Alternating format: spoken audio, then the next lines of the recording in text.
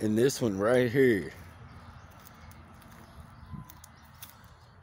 You know the one I call broken?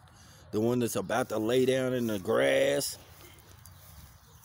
She decides to run away. When the gate came open and my boy went right to the front door, she ran away.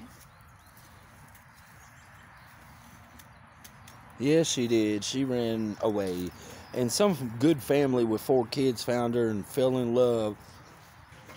But they saw the messages on Facebook and all that, so they called it back in, gave her back to us. Bless them. Look at her. How could you not want that in? Like, look at her. Sherry's in there typing on her phone. Well, I'm glad we got her back. Probably gonna start a fire. But anyway, at your boy.